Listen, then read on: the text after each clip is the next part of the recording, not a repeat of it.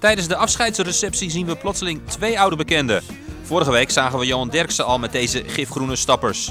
Nu heeft Pieter Huistra de stoute schoenen aangetrokken. Ze zijn vrij opvallend, dat hebben jullie ook wel gemerkt. Eh, aan de andere kant, eh, ja, ach, ik vind het leuk om ze aan te hebben. En eh, voor deze gelegenheid vandaag, voor het afscheid van eh, vier mensen die FC Groningen toch een heel, heel aantal jaren hebben gediend, dan vond ik dit wel zeer passend om die aan te hebben.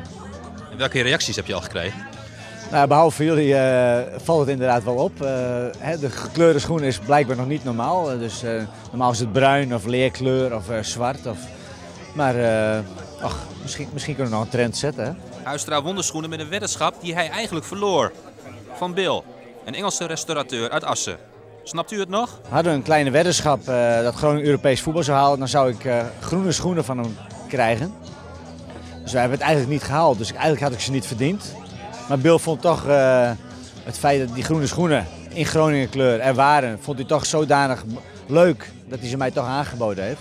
En ik, eh, ja, ik ben ook eerlijk gezegd zeer verguld met de schoenen. Is het toch iets voor de club? Om langzamerhand allemaal in het groen te gaan?